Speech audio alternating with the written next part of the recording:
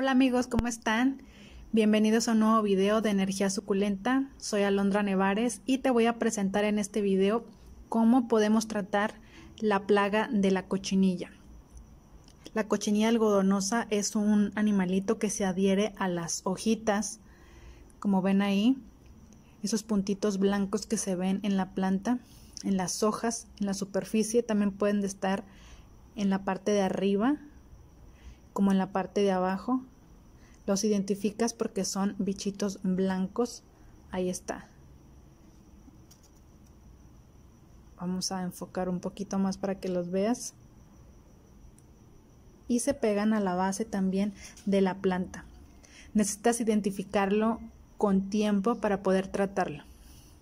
Si lleva mucho tiempo la cochinilla adherida a la planta, es probable que las hojas comiencen a ponerse cafés y que la plaga se los vaya comiendo poco a poco. Pero si te das cuenta a tiempo, como en este caso, puedes tratarla con un jabón potásico que le ayuda a eliminar la plaga. Esta planta comúnmente se le llama pata de elefante y su nombre científico es Becaurnea recurvata. La puedes encontrar así en internet para que conozcas todos los cuidados que necesita, las necesidades de agua, de sol. Por lo regular son plantas de semisombra, no necesitan tanta eh, iluminación. Si las tienes igual fuera de casa, verás cómo su, color de las hojas empieza a verse un poquito eh, opaco, no tan verde. Esto se ve, por ejemplo, aquí un poquito más, más verde limón porque son las, las hojas chiquitas que van creciendo. ¿Sí? Pero por lo regular crecen, no sé, hasta de 2 metros. Pero eh, son de semisombra. Entonces, mira, este lo que quería mostrarte es el jabón potásico que le puedes poner para erradicar la plaga y que poco a poco se vaya quitando la cochinilla. Déjalo en foco un poco mejor para que lo veas. Jabón potásico tiene diferentes para diferentes plagas para el pulgón, para la cochinilla, para los trips y la araña roja, entre otros. ¿Sí? Y te voy a mostrar cómo lo ponemos para que se vaya quitando. Esto es una situación de media a leve, la cochinilla que tiene aquí. Todavía se puede tratar con el jabón potásico. En otra, en otra eh, proceso o cuando ya hay más cochinilla hay que tratarlo de diferente manera con algún cepillito quitarla manualmente. Pero todavía esto se puede rescatar ¿sí?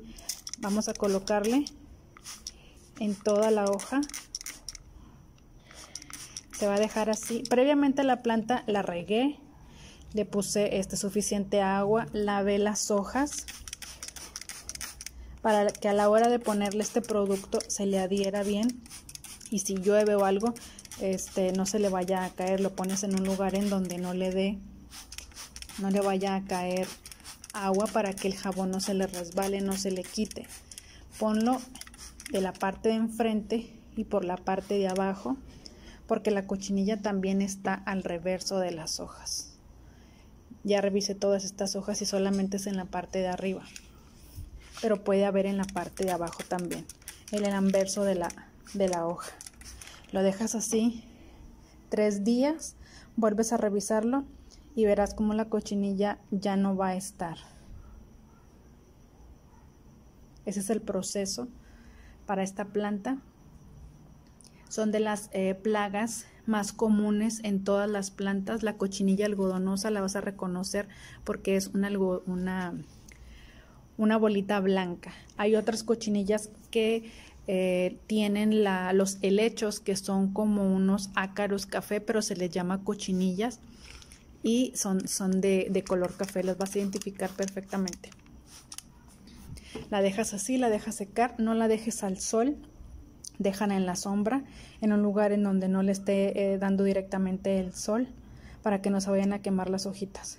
La dejas así y verás cómo la cochinilla desaparece. Me cuentas después cómo te va. Muchos saludos, hasta luego.